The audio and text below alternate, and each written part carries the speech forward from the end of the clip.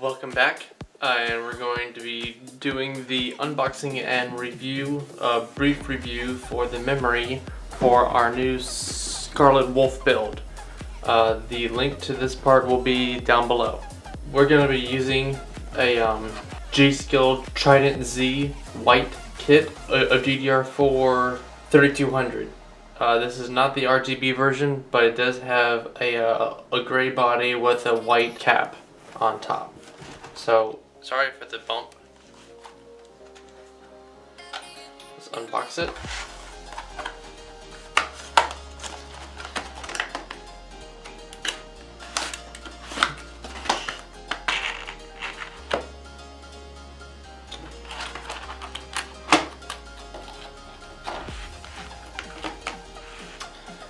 So here we have our two DIMMs.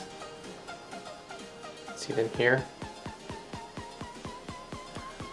And there's really not much to memory.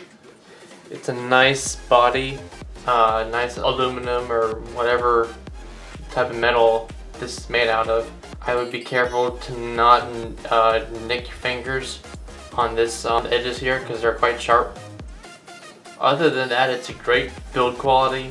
They're really fast. Uh, Trident Z is one of the fastest and most reliable kits out there. But it, uh, if, you, you have a really tall, big CPU cooler, you might run into issues with clearances because if I don't know if you can see that, the uh, the actual DIMM is quite a bit shorter than the uh, than the heat spreader. So there's about a finger width of uh, of height added on. So you'll want to keep that in mind if you have like an Noctua DH15, which is a really big air cooler, um, or if you have another air cooler that is really large. So you'll want to keep that in mind. Really looking forward to, to how this looks in the build. Should be built um, as soon as we get the video card in. I can't seem to find it, any video cards uh, new ones for sale that aren't significantly overpriced. When we can get the, uh, the 1070 in, we will be doing the build. Alright. There. Um, if you like watching this video, sweet.